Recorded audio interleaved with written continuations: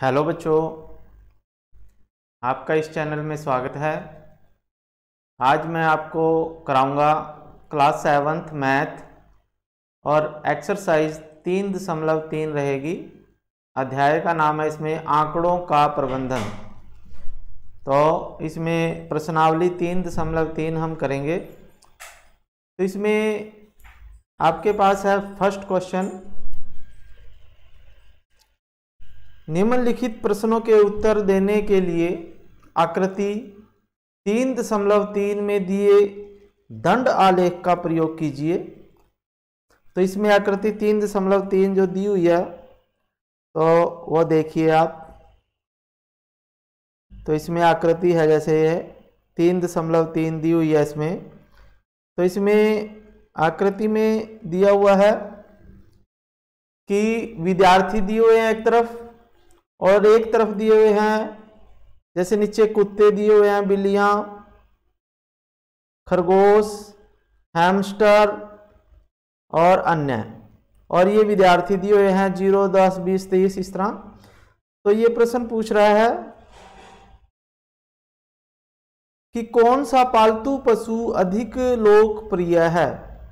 एक तो इसने प्रश्न पूछा है, क्वेश्चन नंबर एक में पहले का जो पहला पार्ट है, कौन सा पालतू पशु सबसे ज़्यादा पाला हुआ है बच्चों ने और कितने विद्यार्थियों ने कुत्ता पाला हुआ है? एक तो ये पूछना है भी कितने विद्यार्थियों ने कुत्ता पाला है और एक कौन सा पालतू पशु अधिक लोकप्रिय है? तो इसमें देखिए, चित्र में देखिए, ये देखो इसमें सबसे अधिक बिल्लियाँ जो हैं, वो दस बिल्लियाँ पाली गई हैं बच्चों के द्वारा और तो इसमें पहले का उत्तर तो आ जाएगा बिल्लियाँ। और दूसरे का उत्तर क्या आएगा? इसने पूछा है, कुत्ता कितने बच्चों ने पाला है? तो इधर देखो विद्यार्थी आठ हैं।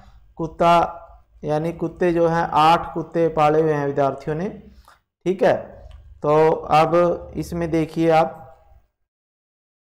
ब्लैक बोर्ड पे देखिए। तो फ़र्स्ट क्वेश्चन का फ़र्स्ट पार्ट आ जाएगा। क्वेश्चन नंबर वन, ए भाग।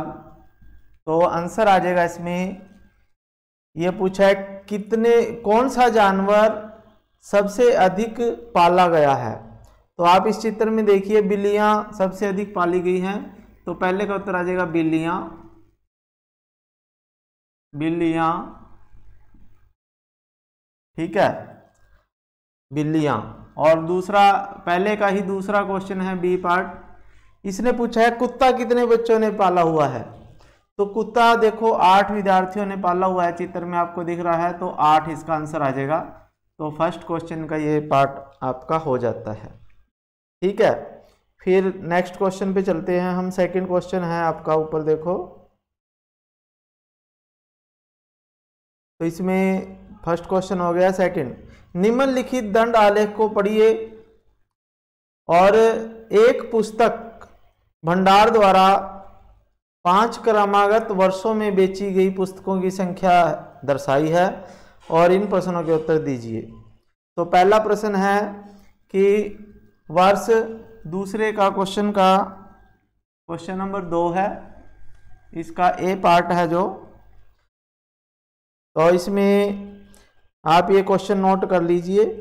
इसने पूछा है कि वर्षों उन्नीस सौ नवासी, नब्बे और बानवे में क्वेश्चन नंबर दो, फ़र्स्ट पार्ट, उन्नीस सौ नवासी नब्बे, उन्नीस सौ नब्बे, उन्नीस सौ बानवे। में कितनी पुस्तकें बेची गई? कितनी पुस्तकें बेची गई उन्नीस सौ नब्बे बानवे में? तो आप ये चित्र देखिए। तो इसका क्वेश्चन है, इसका आंसर आएगा उन्नीस सौ नवासी में कितने, उन्नीस में देखना है हमने। तो ये चित्र आप देखिए। आकृति तीन दशमलव एक आपको दिखाई दे रही होगी। तो इसमें 1990 में देखो कितने 180 के आसपास है ये।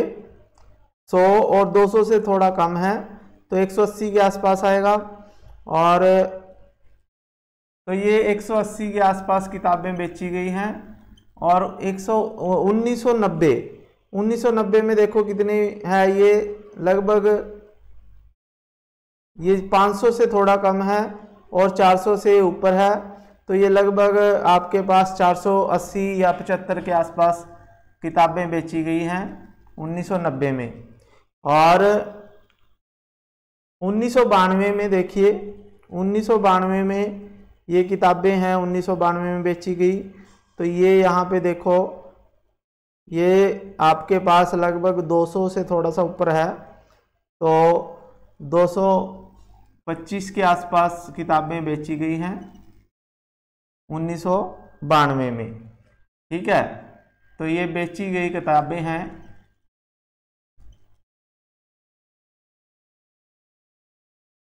ठीक है? तो इसमें आप देखिए ब्लैक बोर्ड पे अब इसका आंसर। उन्नीस सौ नवासी में 180 किताबें बेची गई हैं 1990 में चार सौ पचहत्तर किताबें बेची गई हैं और उन्नीस सौ बानवे में 225 किताबें बेची गई हैं। ठीक है तो अब उसके बाद आपके पास है, इसी में से चौथा क्वेश्चन आपके पास आएगा। ना, इसी का सेकंड पार्ट है। किस वर्ष में लगभग चार सौ पचहत्तर पुस्तकें बेची गई और किस वर्ष में 225 पुस्तकें बेची गई? तो ये देखो चार सौ पचहत्तर पुस्तकें और 225 पुस्तकें किस वर्ष में बेची गई? तो ये आपका आंसर आ जाएगा। दूसरे का सेकंड पार्ट है जो तो उसका आंसर ये आ जाएगा। 1990 में चार सौ पचहत्तर पुस्तकें बेची गई और उन्नीस सौ बानवे में 225 पुस्तकें बेची गई। ठीक है? और दूसरे का ही थर्ड पार्ट किस वर्ष में ढाई सौ से कम पुस्तकें बेची गई? किन वर्षों में? किन वर्षों में 250 से कम पुस्तकें बेची गई। तो ये आपको चित्र दिखाता हूँ मैं। तो 250 का मतलब है यहाँ, और इससे कम पुस्तकें किस किस वर्ष बेची गई देखो। तो इसमें देखो, एक तो उन्नीस सौ नवासी में बेची गई हैं 250 से कम पुस्तकें, और एक एक उन्नीस में बेची गई है। ठीक है तो ये दो वर्ष आ जाएँगे। तो ये उन्नीस एक तो दूसरे का तीसरा भाग जो है ब्लैक बोर्ड पे देखिए आंसर। तो इसमें 1990 में, एक तो उन्नीस नवासी में और उन्नीस सौ बानवे में 250 पुस्तकों से कम पुस्तकें बेची गई, क्योंकि इस वर्ष में 180 हैं, इसमें 225 हैं। ठीक है? फिर उसके बाद आपका अगला क्वेश्चन है इसी का फोर्थ पार्ट है जो क्या आप स्पष्ट कह सकते हैं कि उन्नीस में बेची गई पुस्तकों का आकलन कि, किस प्रकार करेंगे? तो उन्नीस में पुस्तकें कितनी बेची गई? 180 ठीक है? तो 180 पुस्तकें बेची गई हैं उन्नीस में। तो इसका चौथे पार्ट में आ जाएगा उन्नीस में कितनी पुस्तकें बेची गई हैं? 180 तो 180 के लगभग हैं, ये एक सौ पचहत्तर होंगी 180 होंगी, ठीक है? तो ये दूसरा क्वेश्चन कंप्लीट हो चुका है। फिर उसके बाद आपका थर्ड क्वेश्चन आता है। तो थर्ड क्वेश्चन में देखिए, छह विभिन्न कक्षाओं में विद्यार्थियों के नीचे संख्याएँ दी गई हैं। इन आंकड़ों को एक दंड आरेख द्वारा निरूपित करना है। तो ये आंकड़े दिए हुए हैं, दंड आरेख बनाना है। तो अब मैं दंड आरेख बना देता हूँ इसका। तो इसमें देखिए आप, ये इसका ग्राफ बन गया है दंड आरेख। तो हमने इसमें आंकड़ों का दंड आरेख खींचना है। तो दंड आरेख देखिए इस तरह से होता है। इसमें आपके पास हमने क्या किया? यहाँ पे कक्षा ली हुई है, फिर पाँचवीं कक्षा, छठी, सातवीं, आठवीं, नौवीं, दसवीं कक्षा ली है।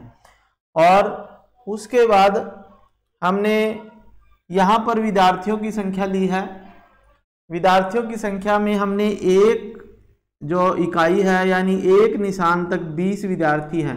तो इसमें इकाई लेनी पड़ती है, एक इकाई जो है 20 विद्यार्थियों के बराबर है। तो ये 20 विद्यार्थी यहाँ पे 40 60 ठीक है 80 100 120 और 140 विद्यार्थी हमने लिए हैं, क्योंकि सबसे ज़्यादा विद्यार्थी 135 हैं। तो हम क्या करेंगे 140 तक ले लेंगे। ठीक है? अब ये कहता है, जो पांचवी कक्षा है, उसमें देखो विद्यार्थी कितने हैं? 135 तो पांचवी कक्षा का जो हमने ये स्तंभ है तो ये हमने 135 तक ले जाना है, यानी 140 से थोड़ा कम 135 ठीक है? क्योंकि 135 विद्यार्थी हैं पांचवी में। छठी में 120 विद्यार्थी हैं तो 120 की सीट तक लेके आगे। सातवीं में तो ये हमारे पास ये मीना, एक तरह से बिल्डिंग्स हैं, ठीक है? तो बिल्डिंग आप इसको मान सकते हो, जितनी कक्षा में विद्यार्थी है, उतनी ऊँची बिल्डिंग आपने बनानी है, ठीक है? तो यहाँ पे सातवीं में पचानवे विद्यार्थी हैं तो न, सौ से थोड़ा कम। आठवीं में सौ विद्यार्थी हैं नाइन्थ में नब्बे विद्यार्थी हैं, सौ से कम, और दसवीं में अस्सी विद्यार्थी हैं, ठीक है? तो इस तरह से हमने ये ग्राफ बना लिया। अब इसमें ये पूछ रहा है कि आप स्केल किस प्रकार चुनेंगे? तो स्केल हमने जो चुनी है थर्ड का ये पार्ट है जो एक इकाई हमने ली है बराबर 20 स्टूडेंट या विद्यार्थी। ठीक है? तो 20 विद्यार्थी हमने एक इकाई के बराबर लिए हैं। फिर है, निम्न प्रश्नों के उत्तर दीजिए। किस कक्षा में विद्यार्थियों की संख्या अधिकतम है और किसमें न्यूनतम है? तो किस कक्षा में सबसे अधिक विद्यार्थी हैं जो सबसे ऊँचा ऊँचा है? तो यहाँ पे छठी पांचवी कक्षा में सबसे ऊंचाई पे है 135 तो बी पार्ट में जो है बी का हमारे पास फ़र्स्ट क्वेश्चन है। तो किस विद्यार्थी, किस कक्षा में सबसे अधिक हैं? फिफ्थ में अधिक हैं। ठीक है? और किस कक्षा में सबसे कम है? सबसे कम किस कक्षा में है? तो सबसे कम देखो 80 विद्यार्थी दसवीं कक्षा में है, सबसे कम। तो दसवीं, टेंथ में सबसे कम है। ठीक है? फिर बी पार्ट, इसी का ही सेकंड पार्ट है जो। थर्ड का बी पार्ट का सेकंड क्वेश्चन छठी कक्षा के विद्यार्थियों की और आठवीं कक्षा के विद्यार्थियों का अनुपात ज्ञात कीजिए। ठीक है?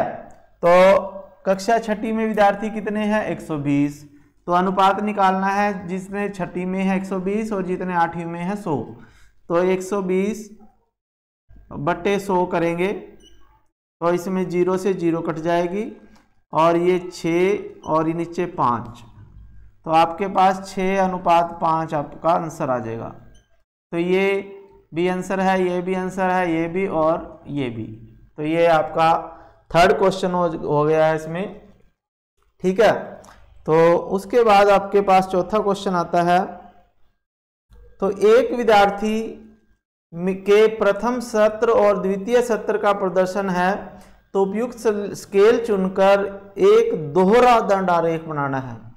तो ये जो दंड आरेख था, ये सिंपल दंड आरेख था, अब दोहरा दंड आरेख बनेगा। दोहरे में हम एक साथ दो दो मीनारें इकट्ठी करते हैं, खड़ी करते हैं, दो दो बिल्डिंग्स खड़ी करते हैं। तो चलिए मैं ये बना देता हूँ। इसका दोहरा दंड आरेख तो इसमें देखिए आप, ये आपके पास हमने ये बना दिया है।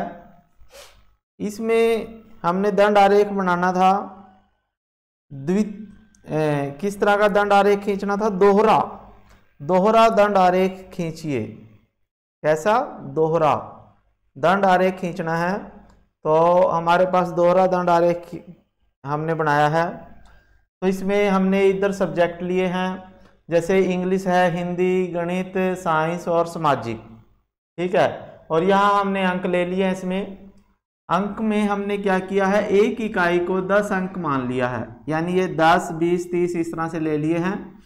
और दोहरा दंड आरेख का मतलब क्या होता है? इंग्लिश के एक ही सब्जेक्ट के दो हमने बिल्डिंग खड़ी की हैं। हिंदी की दो बिल्डिंग खड़ी हैं, सभी की दो दो बिल्डिंग खड़ी हैं, दो दो दंड आरेख बनाए हैं सभी के।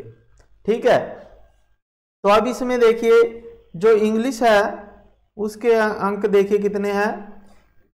जो डोटेड वाला है ये स्तंभ, ये प्रथम सत्र के अंक हैं इसमें। और जो दूसरा खाली है, जो मीनार, वो द्वितीय स्तर के उसमें अंक हम डालेंगे।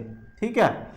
तो इसमें देखो, इंग्लिश में 67 पहले स्तर में, पहले सत्र में कितने आए? सतासठ अंक, यानी 60 और 70 के बीच में। 60 और 70 के बीच में सतासठ सिक्सटी सेवन और इसमें आ गया आपके पास 70 ठीक है? तो इंग्लिश में इसी तरह हिंदी में बहत्तर और पैंसठ। पहले सत्र में आए बहत्तर, ये बहत्तर है, सत्तर से थोड़े से ज़्यादा, और हिंदी में आए कितने आए? पैंसठ। तो साठ और सत्तर के बीच में पैंसठ अंक आ गए। तो इसी तरह से हमने बाकी मैथ में लिखे हैं, साइंस में और एसएसटी के लिखे हैं। तो अब इसमें क्वेश्चन पूछ रहा है ये, किस विषय में विद्यार्थी ने अपने प्रदर्शन में सबसे अधिक सुधार किया? यानी किस, कौन सा ऐसा विषय है जिसमें पहले कम नंबर थे और फिर बाद में ज़्यादा अंक आ गए? तो इसमें देखिए, मैथ में जो है, पहले नब्बे थे, फिर पचानवे हो गए हैं। तो पहले क्वेश्चन का आंसर आ जाएगा फोर्थ क्वेश्चन नंबर चार का, फ़र्स्ट पार्ट। तो इसमें आ जाएगा गणित। गणित में उसने अच्छा सुधार किया है, क्योंकि प्रथम सत्र, यानी पहले सेमेस्टर में उसके कितने थे? नब्बे थे और फिर पचानवे हो गए। ठीक है? फिर उसने कहा, किस विषय में सबसे कम सुधार हुआ है? तो सबसे कम सुधार किसमें हुआ है? देखो, हिंदी में हुआ है, पहले उसके ज़्यादा अंक थे और फिर उसके कम हो गए। तो सबसे कम सुधार किसमें हुआ है? यानी हिंदी में हुआ है। नहीं, सबसे कम सुधार सुधार में का मतलब है यानी बढ़ने होने, चाहिए अंक उसमें भी तो इसमें इंग्लिश में आ जाएगा आपके पास। यानी जैसे आपके पास इंग्लिश में सतासठ थे पहले, अब सत्तर हो गए हैं, ठीक है? और तीन ही अंक बढ़े हैं इसमें, बाकी में तो अट्ठासी से पचानवे हुए हैं, इक्यासी से पचासी, तिहत्तर से पचहत्तर। तिहत्तर से पचहत्तर यानी दो अंकों का सुधार किसमें हुआ है देखो? विज्ञान में हुआ है। तो विज्ञान में, ये सामाजिक विज्ञान में केवल दो ही अंक बढ़े हैं तो सबसे कम सुधार जो है, सामाजिक विज्ञान में आएगा। सामाजिक विज्ञान में केवल दो ही अंकों का सुधार हुआ है। और ये फिर प्रश्न पूछ रहा है कि तीसरे क्वेश्चन में, इसी के पार्ट में, क्या किसी विषय में प्रदर्शन नीचे गिरा है? तो किसमें नीचे गिरा है? तो वो गिरा है हिंदी में। तो हिंदी में पहले ज़्यादा नंबर सत्तर थे, फिर उसके पैंसठ हो गए तो हिंदी में गिरा है भाई। ठीक है? हिंदी में। तो ये आपके पास हो गया है क्वेश्चन नंबर चार, कंप्लीट। फिर उसके बाद क्वेश्चन नंबर पाँच देखिए। किसी कॉलोनी में दिए गए सर्वेक्षण से प्राप्त आंकड़े हैं तो इसमें पसंदीदा खेल देखना और भाग लेना। तो ये कह रहा है इसमें भी शायद दोहरा उपयुक्त इसमें देखो उपयुक्त स्केल चुनकर दोहरा दंडारे खींचिए। तो इसमें भी हमने दोहरा दंडारे खींचना है। तो इसमें ए, कौन सा खेल सबसे अधिक लोकप्रिय है? और खेलों को देखना अधिक पसंद किया जाता है या उसमें भाग लेना? तो ये पूछा गया है, कौन सा खेल सबसे अधिक लोकप्रिय है? ये आपने खुद बनाना है, दोहरा दंडारेख। तो इसमें क्या करना है आपने?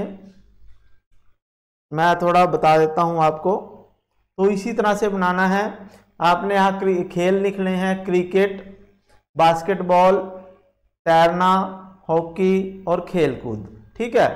फिर यहाँ पे आपने देखना, यहाँ पे एक तो लिखना है देखना। देखना के लिए डोटेड कर देना है और दूसरा लेना है भाग लेना। भाग लेने वाले में खाली छोड़ना है आपने, ठीक है? फिर यहाँ पे आपने विद्यार्थियों की संख्या लिखनी है। विद्यार्थियों की संख्या की स्केल आपने बना लेनी है। लगभग सौ सौ की बना लेनी है। जैसे एक इकाई बराबर सौ विद्यार्थी, ठीक है? तो यहाँ आ जाएगा सौ, दो सौ, तीन सौ, चार सौ, क्योंकि बारह सौ तक जाना है। तो बारह सौ तक आपने तेरह सौ तक ले जाना है, क्योंकि सबसे ज़्यादा बारह सौ चालीस है। ठीक है? तो उसी तरह से फिर आपने क्या करना है, कितने विद्यार्थी देखते हैं और कितने भाग लेते हैं क्रिकेट में। फिर कितने बास्केटबॉल में खेलते हैं, कितने भाग लेते हैं, इस तरह से आपने बनाना है। और क्वेश्चंस के आंसर मैं आपको बता देता हूँ इसके। क्वेश्चन के आंसर क्या बनेंगे इसमें? क्वेश्चन नंबर पाँच। के आंसर जो है, कौन सा खेल सबसे अधिक खेला, ये देखना पसंद करते हैं? क्वेश्चन है, कौन सा खेल सबसे अधिक लोकप्रिय है? लोकप्रिय का मतलब देखा जाता है। तो सबसे अधिक तो देखो, देखा जाता है 1240 विद्यार्थी जो हैं, बच्चे क्रिकेट खेलते हैं, क्रिकेट देखते हैं। तो सबसे अधिक पसंदीदा खिला, जो खेल है वो क्या है? क्रिकेट है। क्रिकेट। ठीक है? और सबसे अधिक खेलना पसंद करते हैं या देखना? तो आप देखिए सब देखने वाले बच्चों की संख्या ज़्यादा है और खेलने वालों की कम है। तो इसका दूसरा पार्ट आ जाएगा आपका आंसर। तो देखना ज़्यादा पसंद करते हैं और खेलना कम करते हैं। ठीक है? तो इसमें यही क्वेश्चन पूछा गया था कि खेलों को देखना अधिक पसंद किया जाता है या भाग लेना? तो देखना अधिक पसंद किया जाता है। ठीक है बच्चों?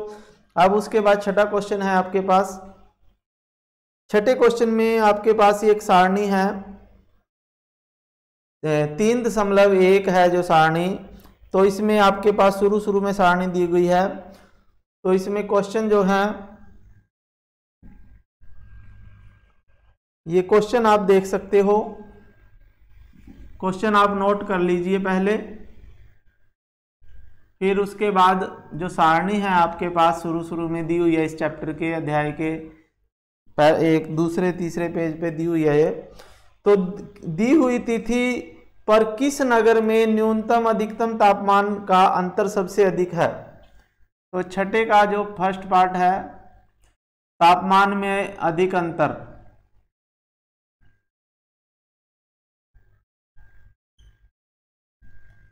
और दूसरा क्वेश्चन का क्या आंसर बनेगा? कौन सा नगर सबसे गर्म, कौन सा सबसे ठंडा? सबसे गर्म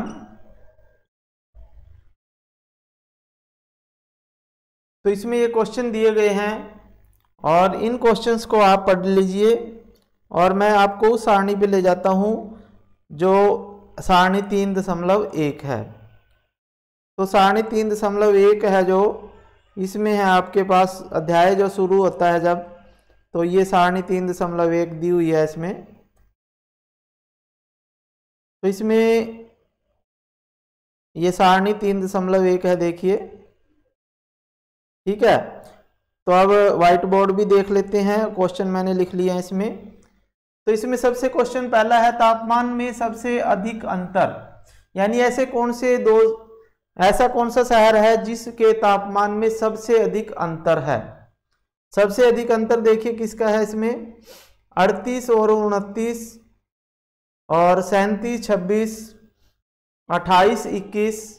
तो जिसका अंतर सबसे अधिक है तो वो हमने देखना है।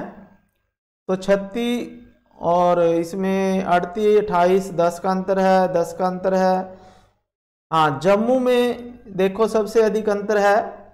इकतालीस डिग्री जम्मू में। जम्मू का जो है सबसे अधिक अंतर है, कितना है? इकतालीस माइनस इकतालीस माइनस छब्बीस डिग्री। तो सबसे अधिक अंतर इसका है, इकतालीस माइनस छब्बीस डिग्री का अंतर कितना हो गया? तो ये पंद्रह डिग्री का अंतर है। तो सबसे अधिक अंतर जो है तापमान में, जम्मू के तापमान है सबसे अधिकतम तापमान और न्यूनतम तापमान में। ठीक है? फिर उसके बाद ये कह रहा है, सबसे गर्म कौन सा है? सबसे ठंडा कौन सा है? तो सबसे गर्म जो है, जिसका सा तापमान सबसे अधिक है तो जम्मू सबसे गर्म है। और सबसे ठंडा कौन सा है? सबसे ठंडा जिसका तापमान सबसे कम है तो 21 डिग्री जो है, बेंगलुरु का तापमान है। तो सबसे कम तापमान बेंगलुरु का है तो यहाँ बेंगलुरु आ जाएगा।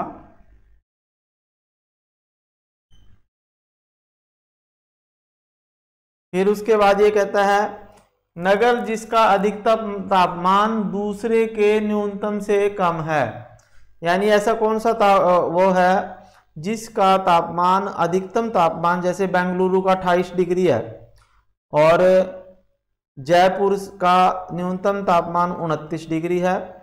तो जो आपके पास बेंगलुरु है, बेंगलुरु का तापमान, अधिकतम तापमान जो है, दूसरे से न्यूनतम है। तो इसमें बेंगलुरु आ जाएगा। और फिर उसके बाद ये क्या है? न्यूनतम ताप, अधिकतम तापमान में सबसे कम अंतर किसका है? यानी सबसे कम अंतर है, जैसे मुंबई बत्तीस और सताईस है। तो मुंबई का ही आएगा शायद इसमें सबसे कम तापमान में अंतर। तो मुंबई आपने लिखना है। मुंबई। इसका आंसर आ जाएगा। ठीक है। तो ये आपके सभी क्वेश्चन हो गए हैं। क्वेश्चन नंबर छः था ये। एक्सरसाइज तीन दशमलव तीन कंप्लीट हो चुकी है। तो अगर आपको ये वीडियो अच्छी लगी है तो आपने इसको लाइक करना है, चैनल को सब्सक्राइब कर लेना है, अगर नहीं किया और घंटी के बटन को दबाना है ताकि अगली वीडियो आपके पास स्वयं ही पहुँच जाए। धन्यवाद, जय हिंद।